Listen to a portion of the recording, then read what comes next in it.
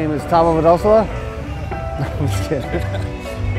My name is BJ Baldwin. Uh, we're at the 46th Baja 1000. Right now we're, uh, we're in Ensenada. We're at Contingency. It's the day before the race. Um, all the all the locals out here in Baja and Ensenada are crazy about off-road racing. Um, this is like their Formula One, their NASCAR, their Super Bowl.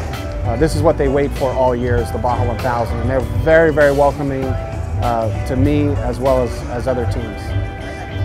Uh, this morning we had a, a parade uh, at 7 a.m. started here in the wash, uh, so it was interesting. I've never gone so slow uh, pre-running, but uh, I can tell you one thing, I, I, saw every rock, every tree, every bush in the first 40 miles. You know, it's 883 mile race. Uh, it's going to be difficult. You know, we'll be probably racing for close to 19 hours. It's a great day for contingency. It's nice, warm, sunny. I haven't seen this many people out in contingency for a very long time.